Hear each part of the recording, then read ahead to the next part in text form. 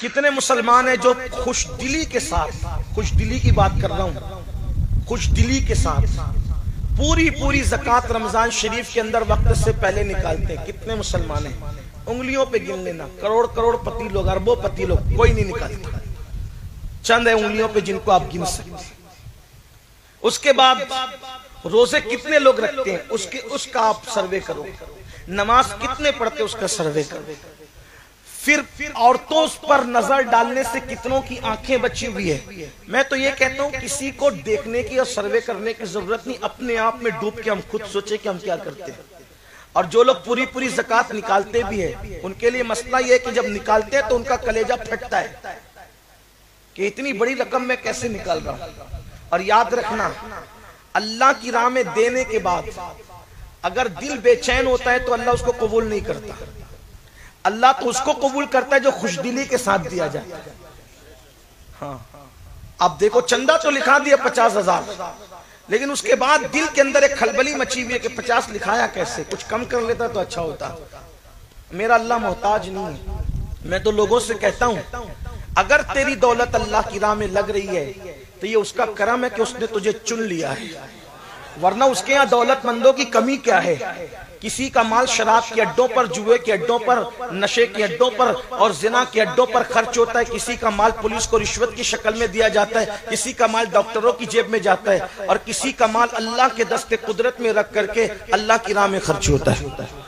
हदीस पाक में आता है, जब तुम अल्लाह की राह में देते हो, हदीस पाक है, जब तुम अल्लाह की राह में देते हो तो लोगों के हाथ में वो तुम्हारा दिया हुआ बाद में आता है, पहले वो अल्लाह के दस्ते कुदरत में आता है।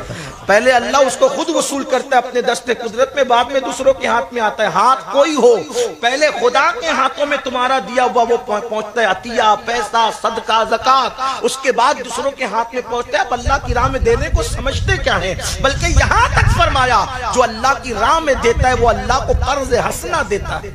आज तुम अपनी हैसियत के मुताबिक दे रहे हो, कल अल्लाह तुम्हें अपनी शान के मुताबिक।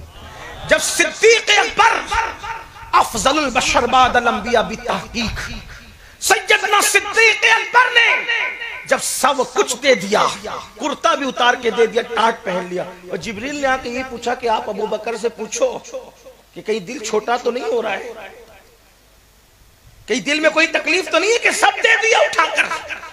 देकर अबू बकर राज़ी है कि नहीं, खुश है कि नहीं? तो सरकार ने पूछा, अबू बकर जिबरील को भेजकर अल्लाह पूछता है कि अबू बकर राज़ी है कि नहीं? या दिल में कुछ तंगी महसूस हो रही है। तो सिद्दीक अकबर कहते वल्ला देने से पहले जो खुशी थी, देने के बाद उससे ज़्यादा दिल मेरा ये होता है देने का अंदाज।